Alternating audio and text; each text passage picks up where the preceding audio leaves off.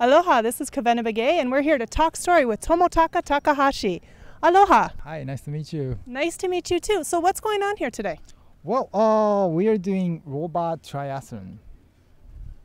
And so, what is this you're holding? Is this is one robot going to do the whole course? Uh, actually, this is a uh, swimming one. Um, unfortunately, mm, robot is not as good as human beings. So uh, robot, uh, each robot can do one activities. So this one is for uh, swimming, and uh, we have other uh, uh, two different robots. Uh, one is for uh, running, one uh, the other is for uh, bicycle riding. And how long did it take you to design these three different robots? Well, uh, almost uh, six months. Hmm. And have you tested them out um, at home? Yes, yes. Uh, but uh, you know the condition, uh, test condition is not as you know hard as uh, it is in uh, this place. So uh, we did like a uh, test in swimming pool and also like a movie studio to for running and bicycle ones. But you know there's no wind or current or you know anything. So here it is much much tougher So, this is going to be a little more of a real world uh, event today. yes and uh, i think you know this place is kind of you know a little bit harder than you know uh, average real world so but uh, you know it's a really fun and it's a part of ironman race Well, and I, I understand that they have a week to finish the whole event. Oh, Can you tell us about what that's going to look like? Do they start with one or they do them simultaneously?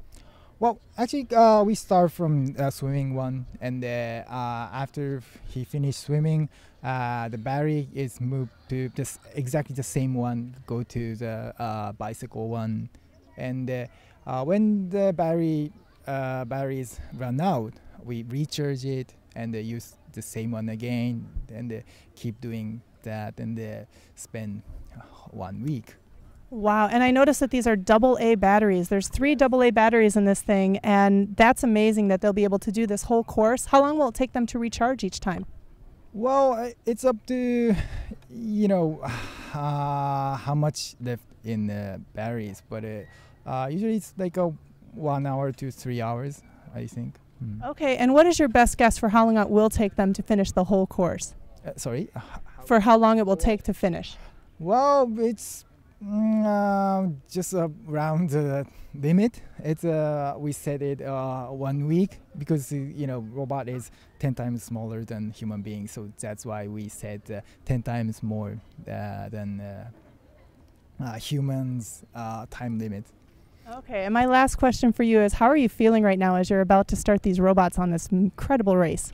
Well, I'm so excited, but also I'm worried about robot. You know, it's such a huge event, and uh, you know, it's such mm, a great challenge. That's why I'm so nervous.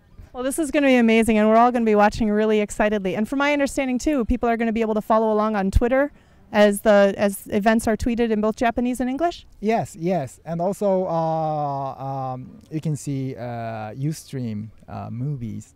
So Oh, great! All right, this is really exciting. I can't wait to see what happens. Thank you. thank you very much. Thank you very much. And for the Big Island News Center, I'm Kavena Begay.